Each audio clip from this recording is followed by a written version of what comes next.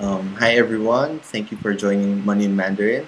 Today we are joined by Miss Winny Yu, and she's currently the owner of an online gadget store named One Stop Shop. She's a very passionate advocate of Mandarin Chinese and is here to tell us more about um, her career and business and her success despite not growing up in a Mandarin speaking environment and how you can duplicate her success as well. So thanks for joining us, Winny. Hi, Alan. Hello, everyone. Yeah. So let's get right into the questions and help people learn what you do. Um, so you're currently in a very competitive niche, which is the online gadget store, and I assume you need all the advantages you can get to succeed. So how does your fluency in Mandarin Chinese help you do this? Well, um, at this time and age, everyone knows that Mandarin is very important, and that holds true to any industry, not limited to just the gadget industry. Mm-hmm. So we also know that in any business, one of the most important things is the supply, supply of your items. So, well, I guess in my case, uh, Mandarin helped me a lot because um, I was able to I was able to converse with my with my suppliers in their first language, Mandarin, and I guess that made me a lot closer to them. Mm-hmm. And uh, maybe sometimes they feel that uh, we're on the same ground. So sometimes they give me tips, and mm-hmm. I guess sometimes I can also strike a better deal with them mm-hmm. because you know, I can understand their language and I can speak fluently in their language. I see, but these suppliers could also speak in English, but they prefer speaking in Chinese. Yes, they can speak in English, but then mm-hmm. good luck understanding. I. So, so uh, mm-hmm. it's a lot. Con- it's it's a lot easier and it's more convenient if you can just speak in Mandarin with them. Mm-hmm. And, also, and I think of course in doing business, it's not always all the all the technical stuff, you, you need to build relationships as well. So I guess Mandarin helps you build a better rapport with your suppliers. Well, yeah. Well, yes, that is true because um, well, sometimes uh, outside of business, we, they would call and then they would tell me all about their problems. No, really. we became friends already. Mm. It, and I think that me being fluent in Mandarin that contributed a lot to that. Mm, nice. Also, um, the thought of doing business in Chinese is very intimidating, especially for beginners. So, did you have prior experience with doing business in Chinese so that your confidence in in dealing with Chinese suppliers is quite strong? Well, first of all, I did not go into this business because I'm fluent in Mandarin. Mm. Uh, well, I just well, how do, how how do I say this? Uh, I'm already in the business. Mm-hmm. And then I started looking for suppliers. Okay. And then I realized that uh, most of the suppliers I'm looking for are in Chinese speaking countries because face it, mm-hmm. uh, the suppliers nowadays, where, where, where do they where, where do they come from? They mm-hmm. come from China or from Chinese speaking countries. Mm-hmm. So that's when that's when it hit me that uh, I have an advantage over other people because I was you know, I was uh, fluent in Mandarin. Mm-hmm. So, do you in, in dealing with them? Um, do, do you have previous training for business Mandarin, or is the normal conversational Mandarin enough for you to deal with them? Well, I did not have any prior training mm-hmm. in business Mandarin, but uh, well, for starters, I just converse with them with um, everyday Mandarin. Mm-hmm. Uh, normal Mandarin. And then sometimes when I need to say some business terms, I would say it in English.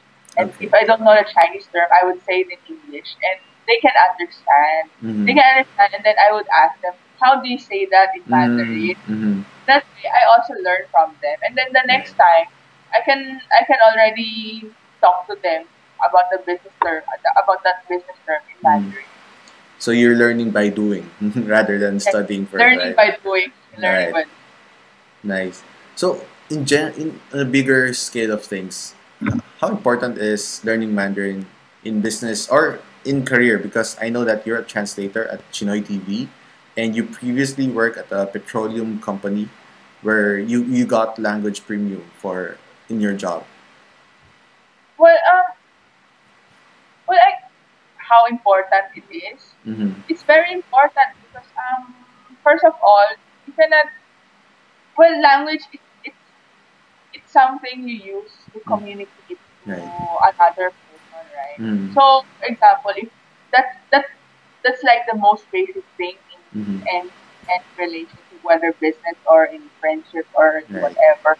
So, for example, if you cannot communicate properly with another person, I think uh, that that that explains everything because um, well, how can you establish a relationship if you cannot, in the first place, if you cannot communicate properly? Mhm. So I think, uh, well, in today's time and age, since um, I think uh, it has to do with China becoming stronger and stronger.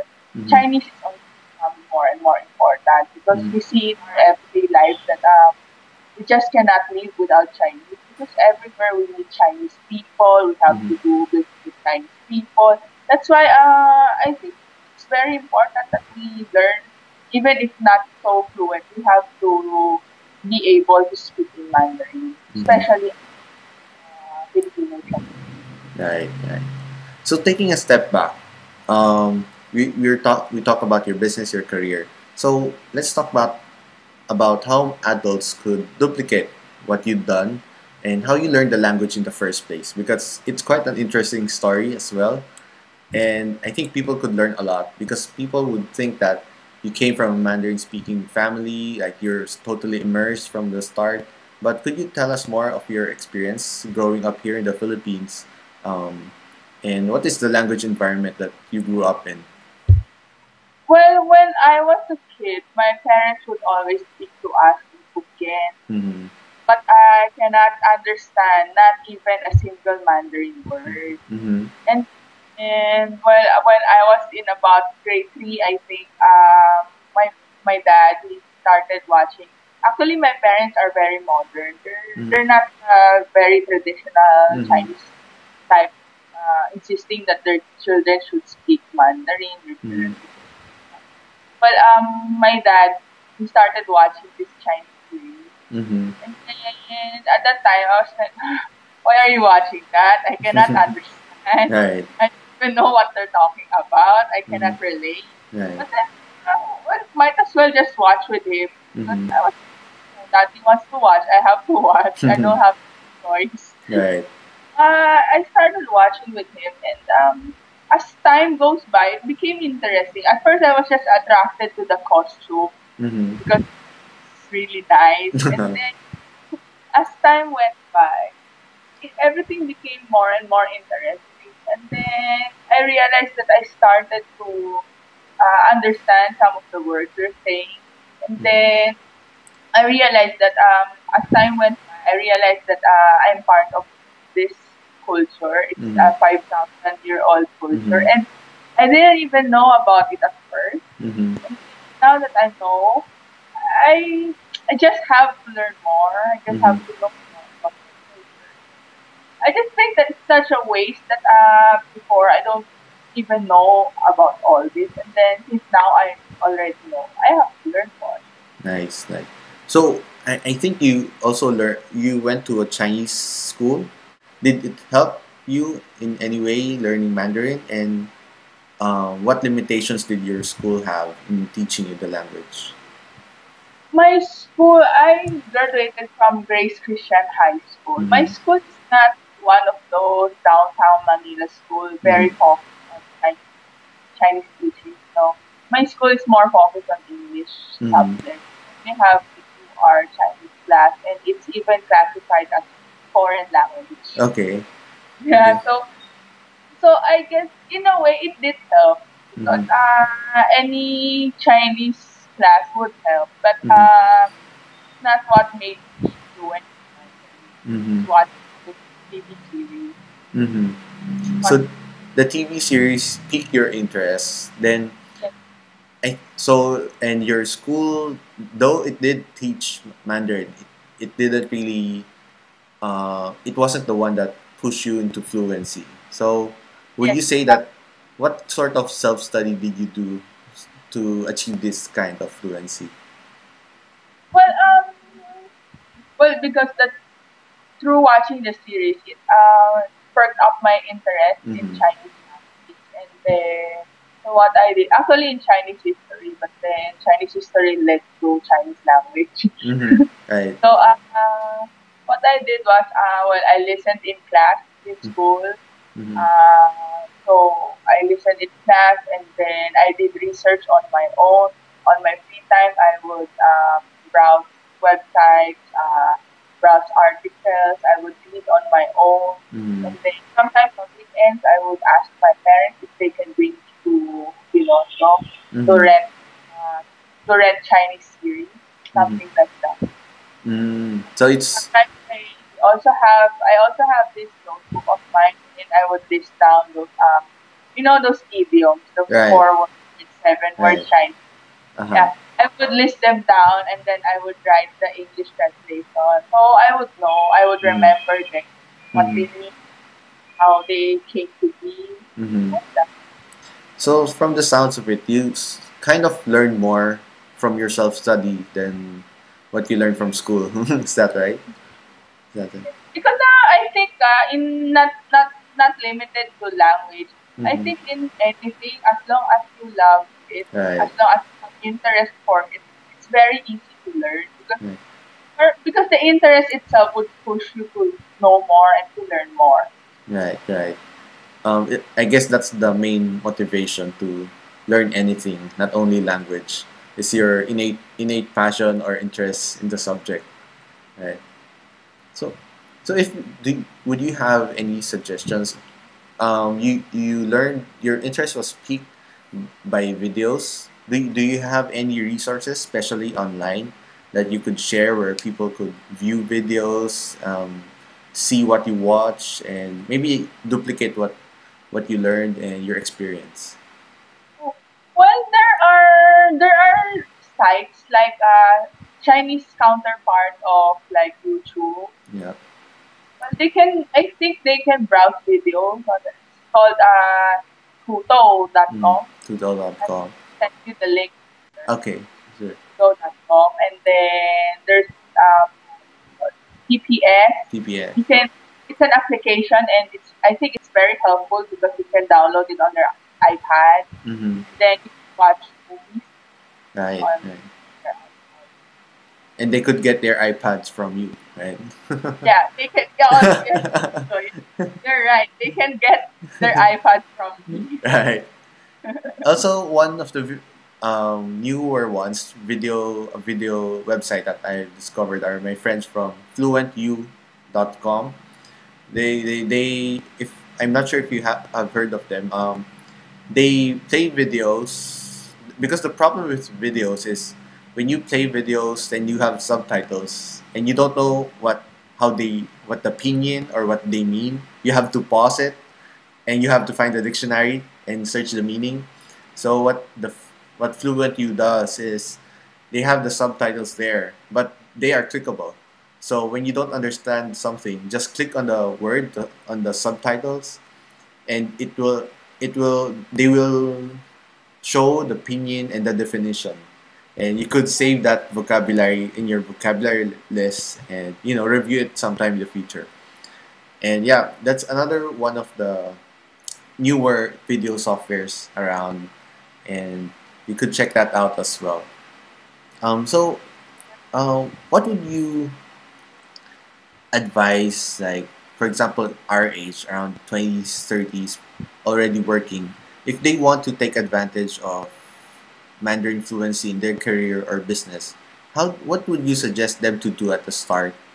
Like, if someone's from zero background or just a beginner, do you suggest them to have a tutor, to attend formal classes, to learn online? Maybe you could share your opinion on this this aspect. Well, I think uh, definitely need, they need to have a tutor. Mhm. That's one. But then they can do it simultaneously. They can have a tutor and then maybe at night during their leisure time, they can watch Chinese movies because I think I think that's really effective Mhm. and it would help them a lot. Because Mhm. sometimes uh, when they watch the movies and then they would encounter some terms that they Mhm. don't understand, they can actually write it down and then the next day they can ask the tutor, uh, how Mhm. do you Right. use this word? What does it mean? Right. That's good. I think you're coming from the angle that you need to have the interest first. So by by wa- watching movies, it has a bigger chance of making you curious about the language than taking action and having someone like the tutor to help you out along the way.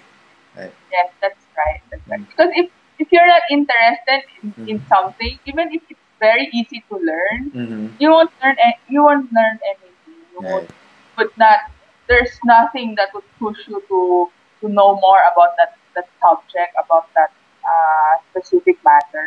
Mm-hmm. But if you well face it, Mandarin is a very language. Uh, it's a very difficult language. Mm-hmm. Uh, so if you don't have that interest, I think uh, it's very hard to learn. But Mm-hmm. then if you're interested and if uh, there's something that's pushing you to learn more about Mandarin, I think it's, everything would be very easy for you. Right, right. So that's why I suggested that they watch the movies. So uh, they can be interested. Oh, Mhm. this is culture is Right. interesting. And they would learn more about it. Do you have any movies that you'd like to suggest people to watch? And like, But any, any, there are quite a number of good movies playing, uh, Mhm. Chinese movies. So uh, they can just watch whatever interests them. For example, if they like action movies, they can just search for action movies. mm-hmm. Right. Right. Okay, so thank you very much, Winny, for joining us. And maybe you'd like to invite them to maybe visit your site. Okay. Uh, hello everyone. Thank you for joining, for watching this video, this video interview with Alan. I would also like to invite everyone to please visit my online site. It's uh, One Stop Shop Gadget. I would like you to like my uh, Facebook page instead. It's www.facebook.com slash one stop shop gadget. Great, great. So, yeah, I'll post a link to that uh, on this page and hope to see you soon in our future videos. Thank you. Thank you also, Alan. Bye bye.